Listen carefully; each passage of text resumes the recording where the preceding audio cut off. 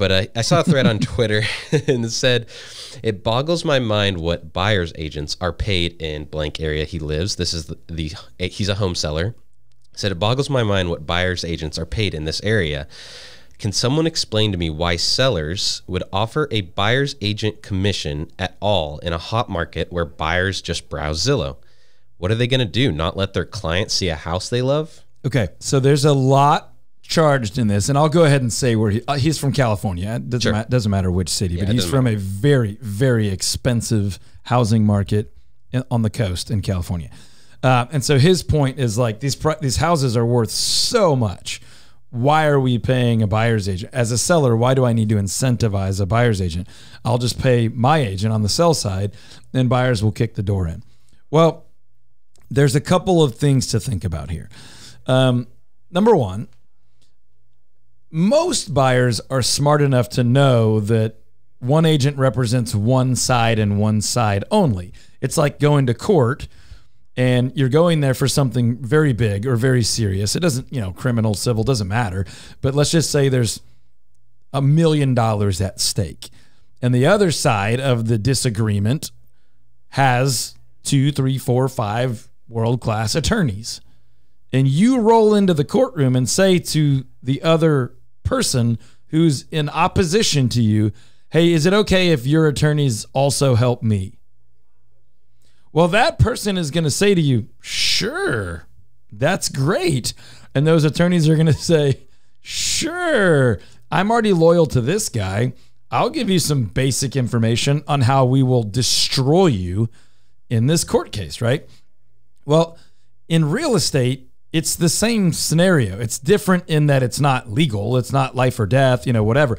But in order to say to someone, hey, I don't want there to be multiple agents, is sort of saying, I, I, I want one side to get taken advantage of. Now, let, let, let's get really specific here. Yeah. This person is a seller Home seller, right? yeah. And so it if you were purely motivated by money, it makes sense that a seller would say, I don't want there to I don't want the buyer to have an agent.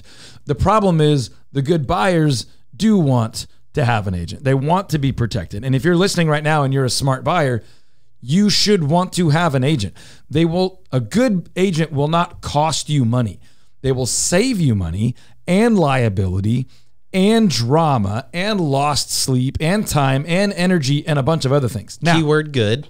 That's the point. because a lot of people in the comments under this thread are saying my my agent made me pay a lot more money and conceded a bunch of things and blah blah blah blah blah. And the reality is there are more bad agents than there are good agents. And so I actually am not upset that people think this way. They think this way sadly based on some poor past experiences.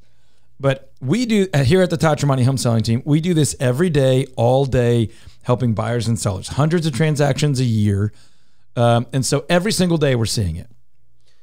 A buyer without an agent is extraordinarily likely to get taken advantage of, As well market, as a buyer with a bad agent. as well as a buyer with a bad agent. Now, here's the crazy thing: a seller without an agent is almost guaranteed to get taken advantage of. Leave To- money on the table. To leave money on the table and to have more liability and have a lower likelihood of closing and funding. A seller with a bad agent could be just as bad, if not worse. Yeah, people Now- just assume because because of the industry and Right. because of how many there are out, outweighing the, the bad agents outweighing the good Right. that that agents are a detriment. Yes. Now, let me throw out a couple of quick hypotheticals. It sounds like it would make sense for this seller to say, I'll pay an agent to help me sell, but I'm not going to incentivize a buyer to have an agent of their own because the market's so hot. I don't need to do that. Right. Does that make sense from his So, perspective? so here's what I want to say. Here's what I want to say. My experience in over 20 years in real estate of one kind or another, I think nine, 18, 19 years with a real estate license, 17 years with a broker license, whatever you want to count. An a, a buyer without an agent is infinitely more likely to make you an infinitely lower offer on your property. They are thinking the same thing. If I don't have an agent, I want to save that money. As a seller, you're thinking if they don't have an if I don't have to pay their agent, I'll save that money. Mm. Well, now there's the same battle there always was over value. Now it just happens to include the assumption of found money with a commission. The problem is it's a messier transaction. It's a lot less likely to actually close and fund. It's, I think, 300% more likely to involve people getting sued. It's a messier, more dangerous, and honestly, in the long haul, statistically, it is not financially more advantageous for either side. Now, that sounds like a really biased argument, but producer Mason, does any of that make what you would consider logical sense outside of my bias? I mean, of course, yeah. I- I'll tell you this right now. For sale by owners are a perfect example of this. For sale by owners typically are doing that to save on commissions. And again, usually because they've had a bad experience, and I don't blame them.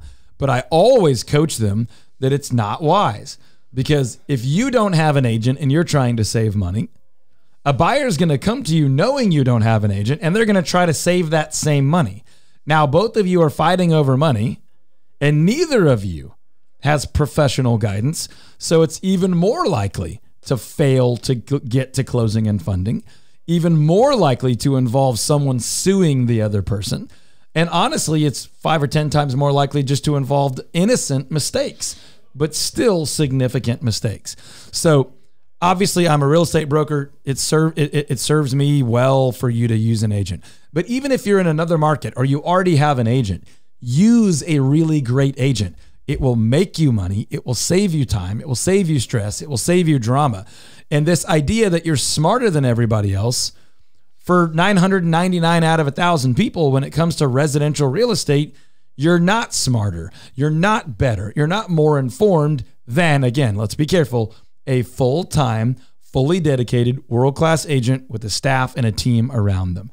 Those are fewer and farther between, but if you can get your hands on one, and I would suggest the Todd Tramonte home selling team, if you can get connected with someone, you will make money as a seller. You will save money as a buyer. You will save time, save drama, avoid complexity, avoid getting sued, and sleep better at night. Overunderagent.com if you want more information on that. Overunderagent.com. Okay, you said two two qualifiers that were they're full time, right? Yep. They're they have a team around them. Yep. Okay, what makes what besides those two things? What makes a world class agent? Someone's trying to figure out. All right, Yeah. how do I know if this is a good agent? So, a track record of success, in my opinion. Now, that doesn't mean that a new agent can't be good, but I think a new agent needs to be in an environment with some experienced agents and some world class training, right? So, you think about this. I mean, think about the trades. To be a master plumber or a master electrician, you have to have spent some time around other masters when you were still learning. Real estate is set up that way where you can be a real estate salesperson or a broker, different licenses.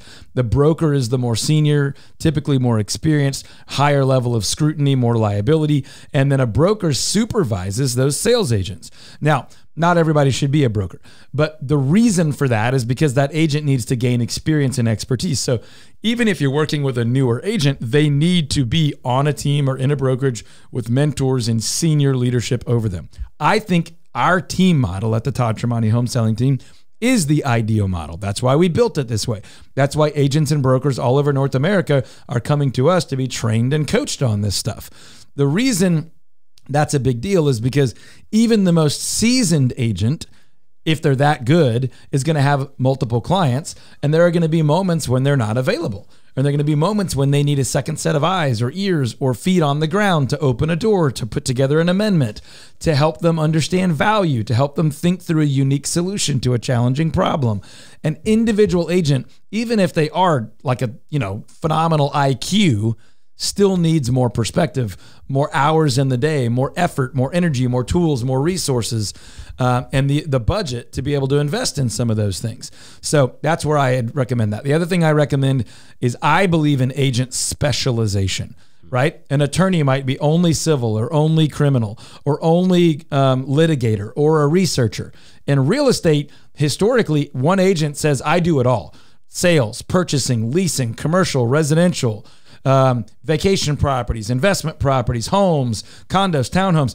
I, I'm not a believer in that. I think you can only be truly an expert at a handful of things. So our agents only work with buyers Maybe even a handful of areas too. or only work with sellers. They only work the Dallas side or they only work the Fort Worth side. So we're big believers in specialization in addition to full time, fully dedicated, fully educated, fully committed to training and ongoing work and specializing in one of those areas. And again, if you're interested in that, go to overunderagent.com Call any phone number, fill out any form, click any button, contact us however is most comfortable for you, and we will be glad to get you connected with one of those world class, full time dedicated experts. Overunderagent.com or call or text 214 310 0008.